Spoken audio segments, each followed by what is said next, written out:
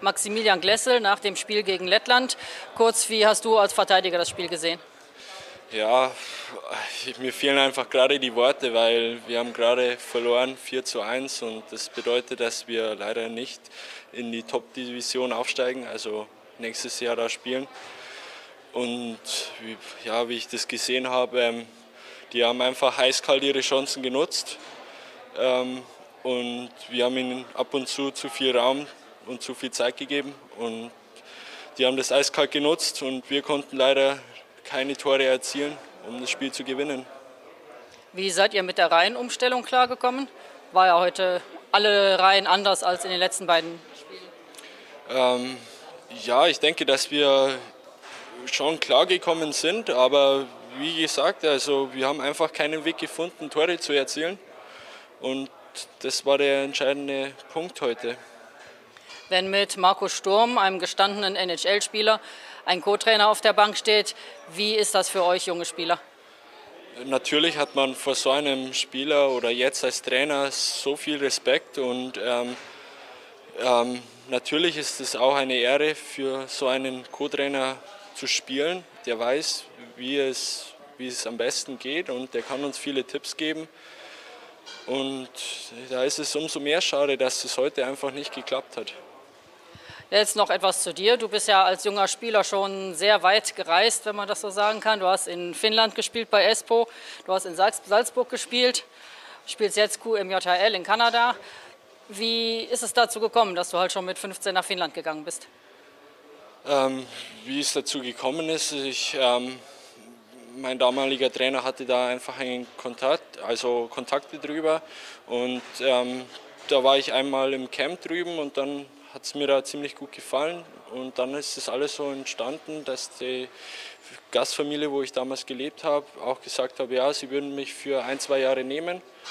Ähm, das war dann einfach der Grund, dass ich da spielen durfte und das war eine super Erfahrung in Finnland. Ähm, dann der Weg nach ähm, Salzburg war auch eine super Erfahrung, in der russischen Liga mitzuspielen. Red Bull investiert da so viel in die jungen Spieler und ermöglicht da so viel. Und ähm, ja, und dann hat sich die Chance ermöglicht, auch ähm, jetzt drüben in Kanada zu spielen für mich.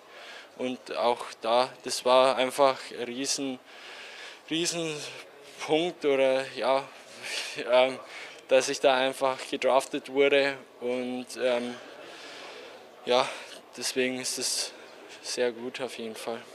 Kann man die Ligenstärke irgendwie untereinander vergleichen? Also jetzt die finnische Juniorenliga mit, mit, mit äh, jetzt Kanada oder auch mit der MHL? Ah, ich würde sagen, dass wirklich jede Liga ähm, anders ist, ähm, wegen der Eisunterschiede. Also in Kanada selbst ähm, ist die Eisfläche natürlich kleiner und deswegen äh, ähm, gibt's da, ist da das Spielsystem einfach viel schneller, geradliniger und härter. Ähm, in der MHL war es einfach viel mehr technischer und ähm, nicht so körperbetont. Aber MHL musstet ihr unheimlich viel reisen, oder? Ja, das, das war unglaublich. Also für Auswärtsspiele gab es Reisen von bis zu zwölf Stunden Flugzeit ähm, und das ist natürlich unglaublich.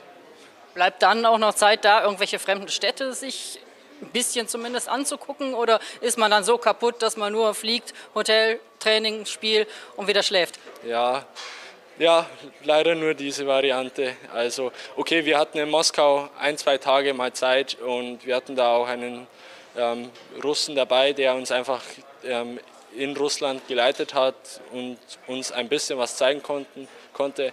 Aber ähm, sonst war wirklich der Fokus auf die Spiele. Und wie weit bist du jetzt mit deiner Entwicklung jetzt über diese verschiedenen Ligen jetzt zufrieden? Wo geht dein Weg noch hin? Ja, ja, nach dem Spiel ist es wirklich schwierig darüber zu reden, weil einiges in diesem Turnier für mich selbst persönlich nicht geklappt hat. Ähm, ähm, aber das wird sich zeigen. Ich hoffe, dass ich jetzt in Kanada diese Saison noch gut abschließen kann und ähm, im Sommer wird sich dann zeigen, wo der wo die Zukunft hingeht. Dann sagen wir Dankeschön und wünschen dir weiter viel Glück. Danke. Vielen Dank.